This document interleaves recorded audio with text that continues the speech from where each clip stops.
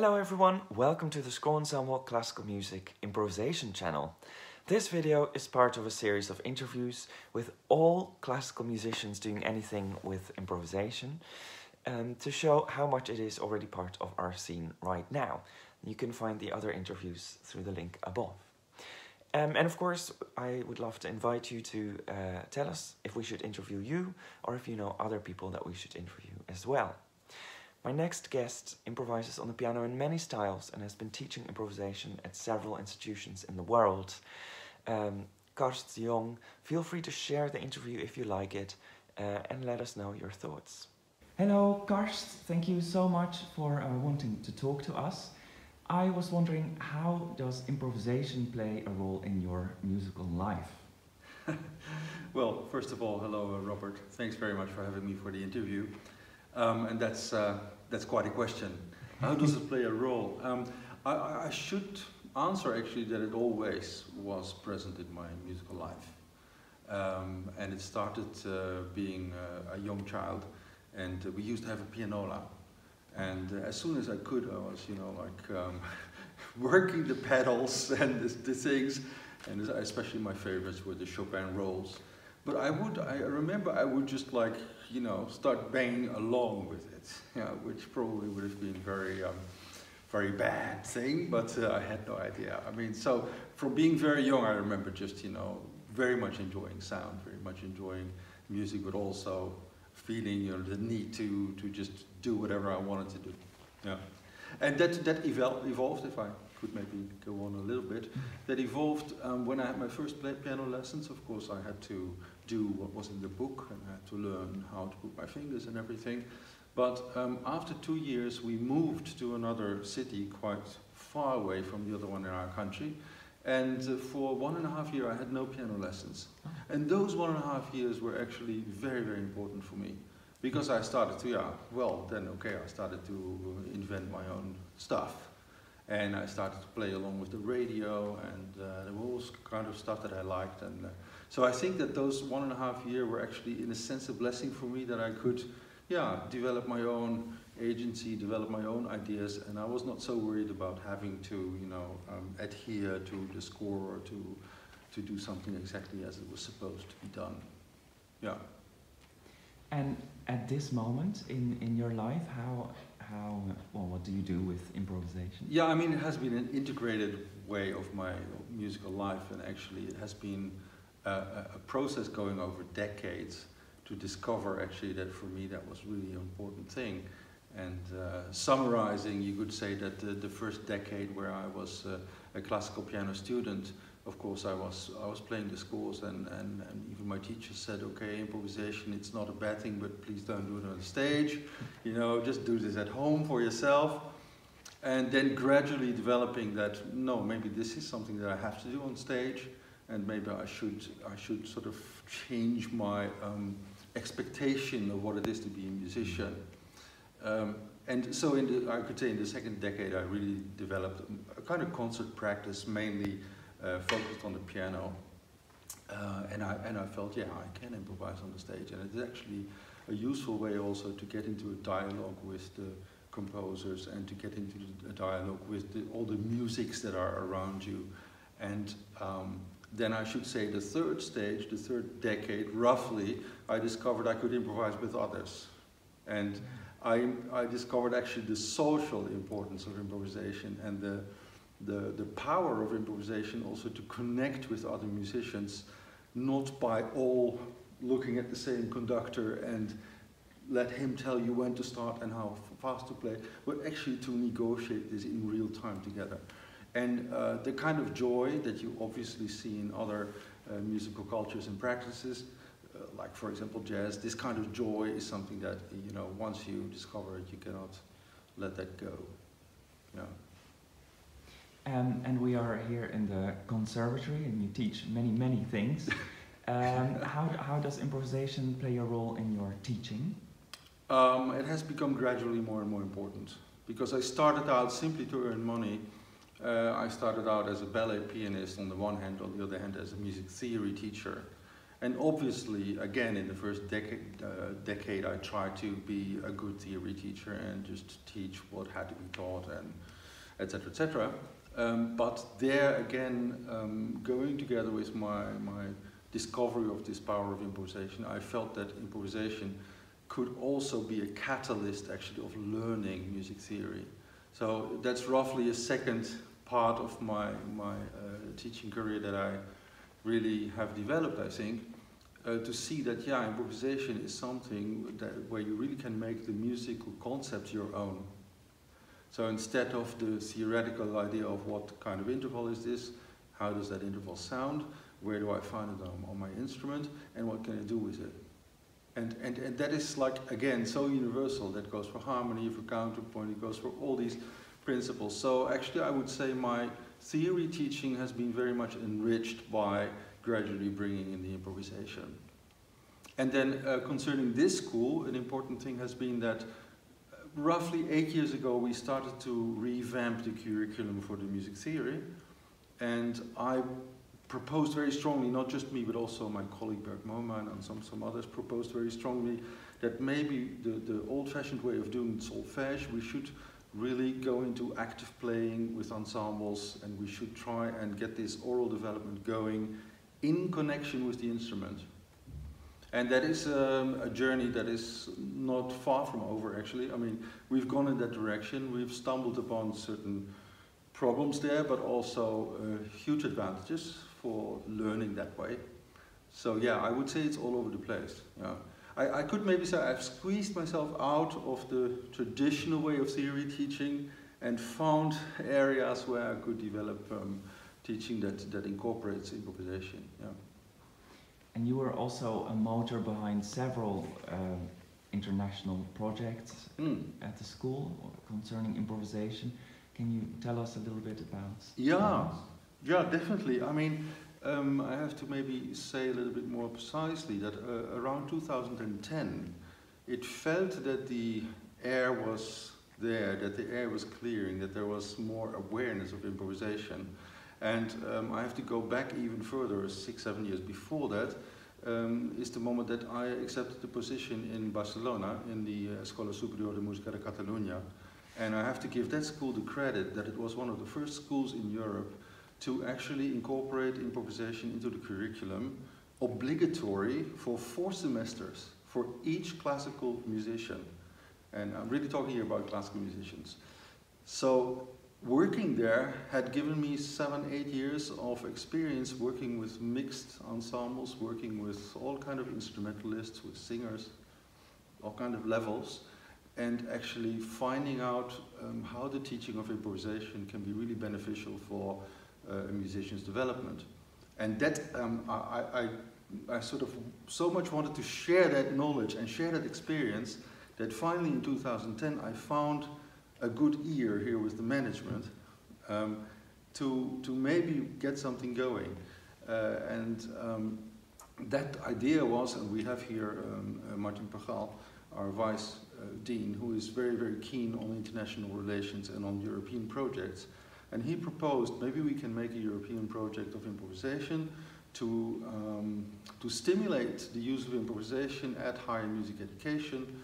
Um, and indeed, we, we managed to get money for this and to start uh, a so-called intensive project uh, in the Royal Conservatoire. And that was an absolutely wonderful experience because we immediately got responses from at least, if I remember well, 10, 11 institutions and not just any institutions, but the, the Conservatoire National de Paris and the Sibelius Academy in Oslo and uh, Barcelona also actually. Uh, so, so you name it, Guildhall uh, School of Music and Drama. So, so really key players in the European field. And they came all to The Hague and we discussed, you know, improvisation pedagogy and we did workshops with students and we got to know each other as teachers. And that was the beginning of a very, very fruitful uh, period of uh, collaboration that still goes on today.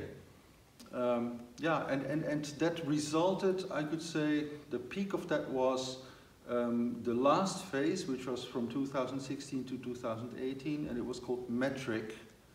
and I don't even know what it stands for, but it's, it's like um, modernizing education through improvisation, something like that. Um, uh, but that metric group has grown to a group of uh, 16 institutions and includes now also Vienna and um, Tallinn and, and, and really some places where interesting things are happening. And it's our way of, of keeping uh, in touch about what happens on the international scene, but also to have um, initiatives where we develop things together. Now, I, I, should mention in this case that within that metric group we have a couple of subgroups of schools who are organizing joint European modules. And this means that there is a module that lives in different institutions and that either students are traveling to those institutions or teachers are traveling. And we have one of those modules which I particularly like. It's a module that is more directed towards um, the, the traditional improvisation, and it's called From Score to Creation. And in this module, we try to um, have uh, groups develop improvisations on the basis of repertoire. And the three schools involved are Guildhall School of Music and Drama, uh, The Hague Royal Conservatoire, and Antwerp Royal Conservatoire. And so it's really interesting. We are traveling as teachers. So we mm-hmm. are actually doing guest lessons with students from the other schools. And then we share the results by putting things on video and um, actually grading each other students also in a sense. So it's quite a, a tight uh, collaboration, yeah, and I think it's a wonderful uh, initiative. Yeah. And, and do you see that in these last years there's also change in the students and how they start approaching well, maybe even their careers or, or music because of these things that they Yeah, I, I think I really do see that change, especially in schools that um, make improvisation seem like a normal thing. like Barcelona, for example. In Barcelona, every student, okay, you have to do it. So they go in these improvisation classes. They, they spend two years, uh, four semesters in these classes. And they come out like, yeah, okay, this is one of the things we do as musicians. They're not even questioning this whole thing. And I, I find that very, very hopeful. But then there are other schools, um, yeah, where, where this, this development goes very, very, very slowly. And um, I think it depends also on what chances you give the students to actually express themselves through improvisation and also through something that I would call um, collaborative music creation. Because that's a little bit something that I'm developing myself into now, that it's not for me just about the improvisation, but it's also about the agency, about the, the ownership of your materials. You know, are you just playing the music of another composer or is that something that you can really recreate, so to say? So in these collaborative um, creative projects, um, I, I, really try to see what comes out of the students. And um, how can we connect that to the repertoire that they're playing, how can we connect that to their, their overall musical development. And those are very exciting questions. Yeah. Um, and did you did you have an improvisation teacher yourself? No. No. No. No. Just the, those yeah. three times. Yeah. To be honest, no. I never had an improvisation teacher. I had many inspirations. Uh, I should say. Um, so of course, people who you, you, and they came a lot. I actually out of the jazz world. So if I have to name, of course, Chick Corea and uh, Keith Jarrett and uh, Brad Mehldau, and you know all of them, because I realized very soon those are people who are playing their own notes, but it's not that, that, it's, that it's strange music. It's connected in all ways to all different ways to the music that already exists, but they sound like themselves. Mm. So you can play me three seconds of Brad Mehldau, and I can tell you that's Brad Mehldau. Yeah? play me three seconds of a world famous pianist playing a Beethoven sonata, I have no idea. I hear Beethoven, but I don't hear that artist.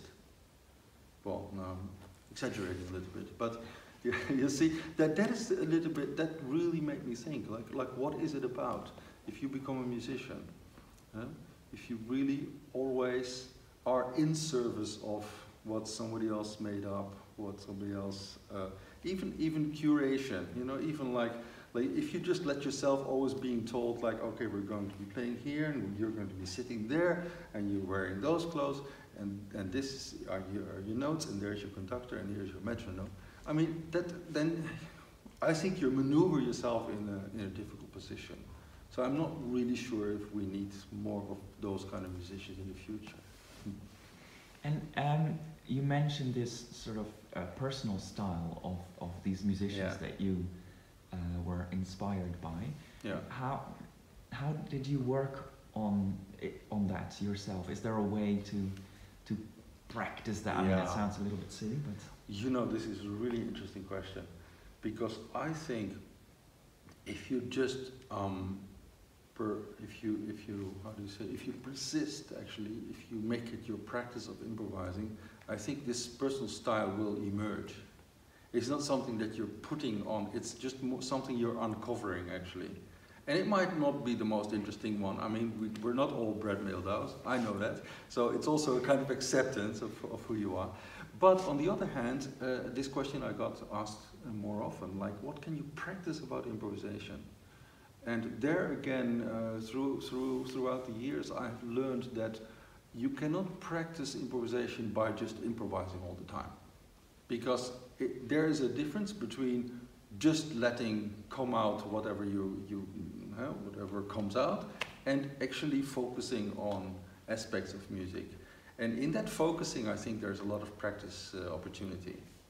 So um, I, I do this sometimes by just realizing, hey, this composer, for example Chopin, has a certain way of ornamentation, of making his ornamentation. How does that work?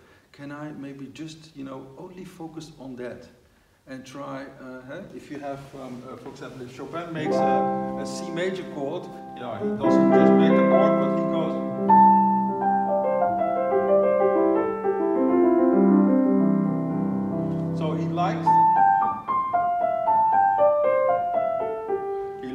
involve the note that's above the, the chord tone. And then you can really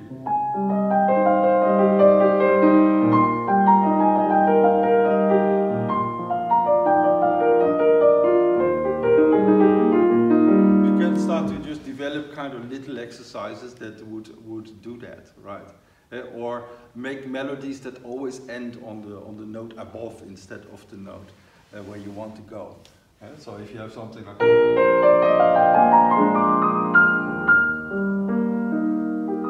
that uh, instead of uh, no, yeah, you see. So you, you, you can actually like really um, focus on on certain aspects of the music, and you might say theory. Um, again, I don't know if it's theory, but yeah, uh, there are a lot of things like how does music work? How do you get a certain expressive effect? And if you focus on that, and if you just practice for a while just with that, um, then it will go at some point in your subconscious, and then you improvise. Oh, comes out. Yeah, of course it comes out because you put it in somewhere. See? So I believe in that, that you can kind of build up your vocabulary by focusing on certain things, focusing on certain exotic scales, or it can be anything, octatonic scales, modes of melodic minor, pentatonics, um, Indonesian scales, whatever. I mean, there's so much out there, and you can just play around and focus yourself on this restriction, and that makes you, I think, a better improviser. Yeah. yeah, this is very fascinating. So because I've heard you play or improvise in many different styles, Yeah, and yeah. so uh, and well, it's obvious in a way how you how you have practiced those Mhm. things. But as you said, at, a, at some point it becomes a sort of subconscious thing. So Yeah. then, when you are improvising in that kind of style, how how conscious are you of using specific materials, or is this still also a subconscious? You mean while I'm improvising? whilst improvising? Yeah, yeah, yeah. No, well, de- definitely, because while I improvise, I do observe myself. So there is this layer, there's this layer, let's say, of automatic uh, generation of your improvisation, but there's also the layer of yourself hearing that and observing that, and sometimes um, acting on it, sometimes, you know, like turning the steering wheel a little bit. So yes, I, I, I- am usually aware, yeah. And and do you do you feel that there's um, in that balance between those things? Is there also a sort of no? How should I ask this? Might you, by accident, so to speak, also stop your creative flow by becoming too an- analytical? Yes, yes, yes, yes. Yeah, that's always a, a, a great danger. Yeah, this is also a source of discussion that I have often with students who in the beginning are struggling because they are thinking so much that they cannot play. and we, we just know at some point that thinking and playing is, is uh, they're enemies in a sense of each other. On the other hand, if you just play without any kind of thinking, so how do you do that? See, see? So I developed also during the years, I developed many ex exercises that actually address this multitasking. Um, for example, one thing that I find really interesting, especially with beginning, is uh, to make real-time canons. So there's one leader, there's one follower, and the leader is, uh, is, is, one bar ahead and the follower is one bar, on later. Then if you analyze what actually happens in such a situation, uh, is that uh, you have to play what the leader played a bar ago, but in the meantime he's playing something else. So you have to play something without stopping, listening to something else at the same time, taking that in, and thinking how you organize that. Uh, so there, I mean, there are so many things going on at the same time. But actually that is also a kind of practice because if you do that a lot, then you can also learn to not stop your fingers or not stop your musical movement, but at the same time be a little bit uh, overseeing what is going on. Yeah. And um, when it comes to free freer, free improvisation, um, do the same things apply in terms of practice? How do you in terms of, of so you said before you will look at a particular piece or a particular scale or a particular approach but if you go into free improvisation uh, is there a way also to practice that where perhaps there are no scales or no mm. particular yeah you really mean a completely free improvisation um, yeah, there are certain, certainly many ways of practicing that. Again, there you can uh, put yourself restrictions. So you can say, I will play beautiful melodies, but I can only use perfect fourths and, and, and major seconds. And can I still feel fluid and I can still move without constantly thinking? Um, and the same thing you can do with completely other things, which is um, challenging yourself uh, to go for certain playing styles or challenging yourself to go from uh, triple pianissimo to quadruple fortissimo in one minute.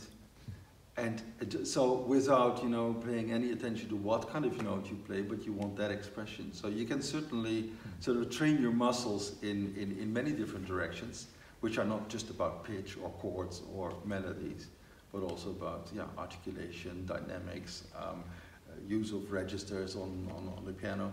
And that goes, of course, for each instrument individually. Each instrument has its own um, world, so to say, and it also has its own playing techniques and its own expressive uh, possibilities. Uh, so yeah, you can, you can to a certain extent do, do that, yeah.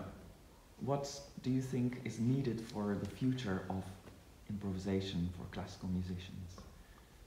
So not necessarily in a classical style in any of free or no, exactly. Whatever, no, exactly. I think it needs to be accepted as, as an art form, but it will not because we're going to ask everybody to accept it.